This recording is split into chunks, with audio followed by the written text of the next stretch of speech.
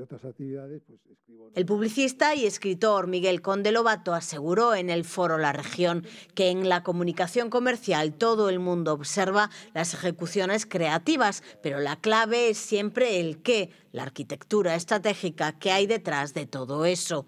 Conde, que fue el tercer invitado del Foro La Región este año, impartió una ponencia sobre el valor de lo intangible. Explicó que se tienen que dar varios factores para que la comunicación funcione. Esto es lo, quiero.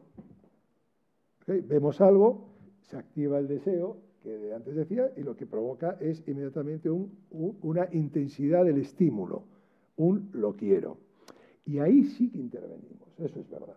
Nosotros no, creamos la necesidad. Eso, el, el, ser humano ya nace envidioso.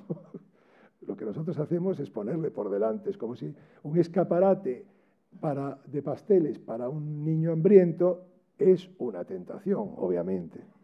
Entonces, el escaparate es la publicidad y es lo que le hace recordar que no lo tiene y, el, deseo se, multiplica.